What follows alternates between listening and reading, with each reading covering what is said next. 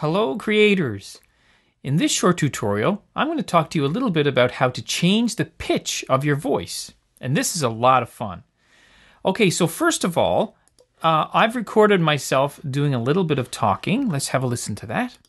The change pitch effect is a lot of fun. There you go. Now, we want to change the pitch of that sound. So, first, I'm going to do is I'm going to select the entire track. And I do that by clicking this tab on the left hand side. I click the tab, it selects the entire track. But I can, by using my selection tool, which is right here, I can actually select only a portion. If I want to just change a portion of it, I can. But for this exercise, I'm going to select the entire track.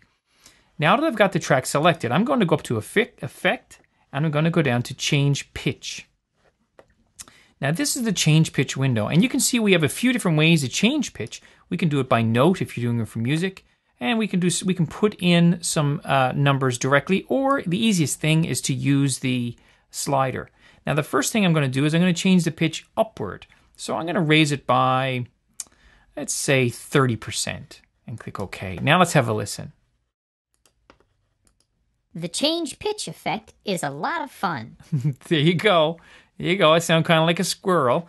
Okay, now if I go to edit and undo, it'll bring it back to where it was originally.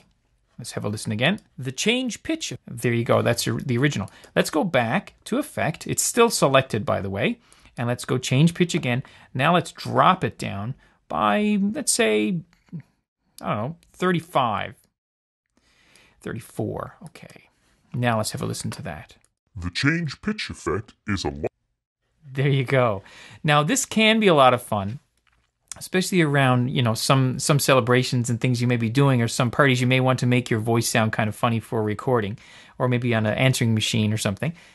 Anyway, it's a lot of fun um, play with this, but you can also use it for things in music as well. If there are some notes you want to change, if something is a little out of tune, you can fine tune it with this by selecting just a single note and, and maybe nudging it upwards or downwards a little bit. So this can work really well for a lot of reasons.